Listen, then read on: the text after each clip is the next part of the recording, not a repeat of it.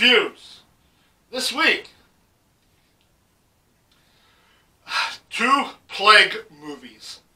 And in a way, I hate to do this, but I'm going to do it anyhow. Outbreak, 95, or Contagion, 2011. Take one. Hey! Welcome back to Dr. Dread Reviews. We're alive and kicking here in the swamp. And, uh, you know, you're home. You're bored. Everybody's at home. You're bored. Stay healthy, my friends. Doctor recommends drinking plenty of water, and that will only help if you're healthy. But I can talk. I have plenty of time to watch movies and talk about them. So I, I just want to touch briefly on these two, and they're both pretty good. Uh, I'll start with Contagion. I believe that's how it's said. And uh, if you're a fan of Gwyneth Paltrow, like all two, three or four of you maybe, uh, she's in this movie. And a fun fact about this movie, uh, not only is she in it, but Laurence Fishburne's in it. And who doesn't love him? Right? Exactly. Cowboy Curtis. Love that guy. Contagion, 2011. Not as good as Outbreak, 1995.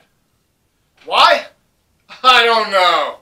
Uh, both of them involve strange diseases, viruses, what have you. Uh, Contagion is uh, it's it's a mystery movie, really, and they're trying to trace it back to patient zero to find out how it all started. Uh, like I said, not a bad film. Eh, a little dry sometimes, a little sciency, you know, not a whole lot of action.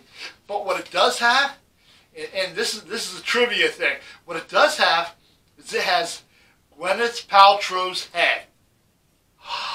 Did you know that? Remember the movie Seven? You know, Morgan Freeman. Everybody loves Morgan Freeman. Brad Pitt, sexiest man alive, right? He's so sexy. Yes, love him. Contagion. Uh, well, Gwyneth Paltrow's head was was made for the movie Seven. And I don't want to give any spoilers away. What's in the box? What's in the box? Well, her head was supposed to be in the box. See, I did it. I gave the spoiler away. But her head was supposed to be in the box. She didn't like it. Freaked her out. Uh, she protested. They finally agreed with her. A couple other people agreed. And they did not show the head in the box. You know, why give that head? Why waste it? Right? Who doesn't love a severed head? Severed head. Right? Who doesn't love a severed head? So they used it in movie Contagion, and that, that part's pretty cool. Okay, now that, that movie, I give barely one, two, barely one, two skulls. A little bit too dry for me.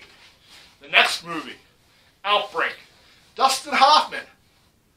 Now, there you go. The Mar Marathon Man. Is it safe? Is it safe? Let me tell you, it's not safe. Darn monkeys. Monkeys spreading that plague. And it, and it hits America. A chew in the theater. Next thing you know, it's really bad.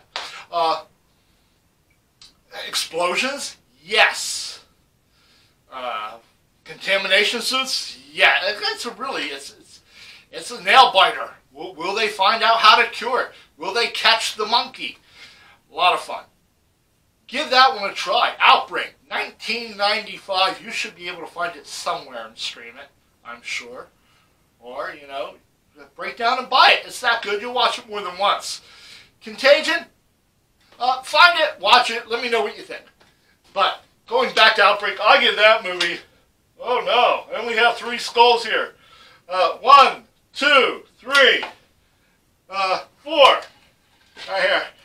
I give it four skull treatment. Contagion, Dustin Hoffman. One, two, three, four.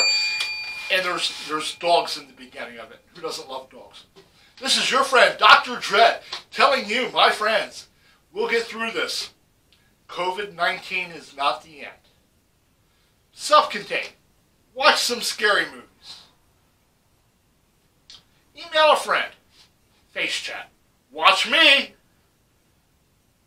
You can you can find me and you can find me at pound Dr. Dread Reviews. No spaces. Hit the search button. I'm on YouTube. Okay? Uh, I'm on Chopblock TV. It'll be good to hear from you. Your friend Dr. Dread telling you, keep it scary, my friends, and stay safe. Cut that film.